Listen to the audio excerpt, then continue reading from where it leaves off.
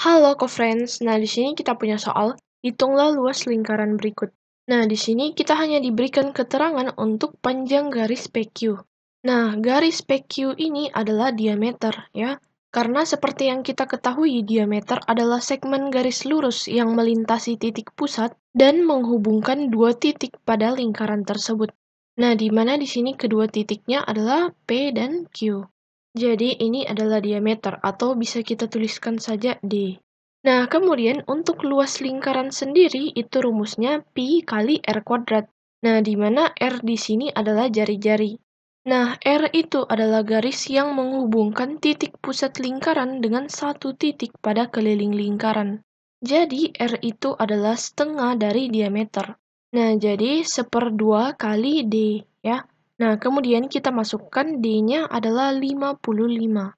Nah, ini sama dengan 55 kali 1 itu adalah 55, kemudian per 2. Nah, ini akan kita cakar sama-sama ya, co-friends. 2 kali berapa yang hasilnya itu kurang atau sama dengan 5? Ya, betul sekali 2, karena 2 kali 2 itu adalah 4. Nah, ini kita kurangkan. 5 kurang 4 itu 1, 5-nya ini turun ya. Jadi di sini adalah 15. 2 kali berapa yang hasilnya itu kurang atau sama dengan 15? Ya, betul sekali 7. Karena 2 kali 7 itu adalah 14. Nah, ini sama seperti tadi kita kurangkan. 15 kurang 14 itu adalah 1 kok, friends. Nah, karena bilangan di sini lebih kecil daripada yang ini, maka kita tambahkan koma di sini, ya. Supaya kita bisa tambahkan 0 di belakang sini. Nah, sekarang bilangan yang ada di sini sudah lebih besar daripada yang ini. Jadi, kita bisa lanjut mengerjakannya. 2 kali berapa yang hasilnya itu kurang atau sama dengan 10? Ya, betul sekali, 5. Karena 2 kali 5 itu adalah 10. Nah, ini kita kurangkan habis, ya. Jadi, pembagiannya berhenti sampai di sini saja. Hasilnya adalah 27,5. Jadi di sini kita dapatkan R sama dengan 27,5 cm. Nah, setelah mendapatkan nilai R, kita lihat lagi di sini kita membutuhkan nilai pi. Nah, di sini karena nilai jari-jarinya itu bukanlah bilangan yang habis dibagi 7, maka kita menggunakan pi sama dengan 3,14. Ya, Sedangkan kalau misalkan jari-jarinya ini habis dibagi 7, maka kita menggunakan pi sama dengan 22 per 7. Ya, seperti ini kok friends. Nah, sekarang kita masukkan angkanya ya. Jadi kita menggunakan pi sama dengan 3,14. Kemudian R-nya itu adalah 27,5. Nah, ini dikuadratkan. Nah, kok friends, 27,5 pangkat 2 itu artinya 27,5 kita kalikan dengan 27,5. Nah, jadi ini kita hitung sama-sama ya. Nah, untuk mempermudah perhitungan kalian, pertama-tama boleh kalau kita abaikan dulu komanya ya. Jadi kita tuliskan 314 kali 275. Nah, 4 kali 5 itu adalah 20, jadi 0 simpan 2. 5 kali 1, 5 tambah 2, 7. 5 kali 3, 15 ya.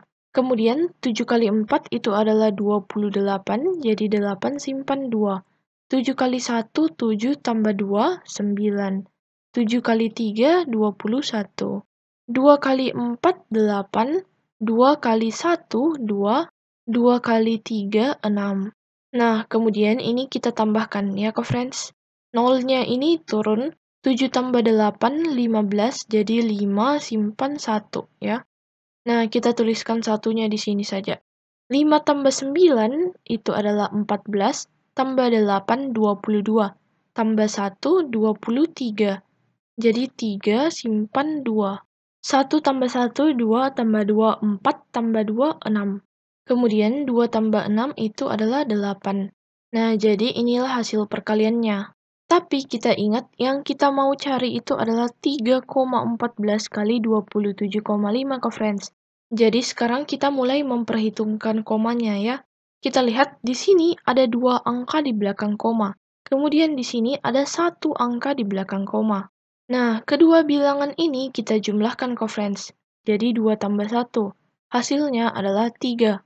Jadi di sini juga kita akan membuat bilangan ini menjadi tiga angka di belakang koma. Nah, jadi kita hitung mulai dari kanan ya. 1, 2, 3. Jadi komanya itu ada di sini, kok, friends. Nah, kemudian kita lihat, karena nolnya ini ada di paling belakang setelah koma, maka boleh kita tidak usah tuliskan. Nah, jadi sama dengan 86,35. Kemudian ini ingat ya, kita masih harus mengkalikannya dengan 27,5. Nah, ini seperti tadi, kita kalikan tanpa memperdulikan komanya dulu ya. 5 kali 5 itu adalah 25. 5 kali 3, 15 tambah 2, 17. 5 kali 6, 30, tambah 1, 31. 5 kali 8, 40, tambah 3, 43. 7 kali 5, 35, jadi 5 simpan 3. 7 kali 3, 21, tambah 3, 24. 4 simpan 2. 7 kali 6, 42, tambah 2, 44. Jadi 4 simpan 4. 7 kali 8, 56, tambah 4, 60. 2 kali 5 itu 10, 0, simpan 1. 2 kali 3, 6, tambah 1, 7. 2 kali 6, 12, jadi 2, simpan 1. 2 kali 8, 16, tambah 1, 17. Nah, ini kita jumlahkan. 5-nya turun, 7 tambah 5, 12, 2 simpan 1. 1 tambah 1, 2 tambah 4, 6. 3 tambah 4, 7 tambah 7, 14. Jadi 4 simpan 1. 1 tambah 4, 5 tambah 2, 7. 6 tambah 7, 13. 3 simpan 1. 1 tambah 1, 2.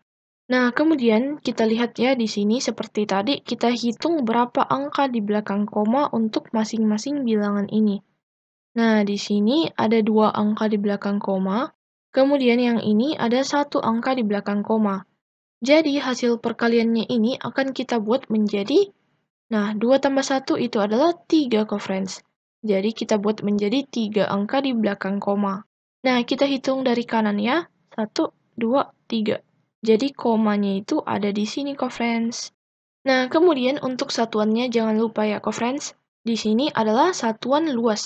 Nah, kalau satuan panjangnya di sini dinyatakan dalam sentimeter, maka untuk satuan luasnya adalah sentimeter pangkat 2. Nah, inilah jawabannya, co-friends. Bagaimana? Cukup mudah kan? Tetap semangat belajarnya ya, co-friends.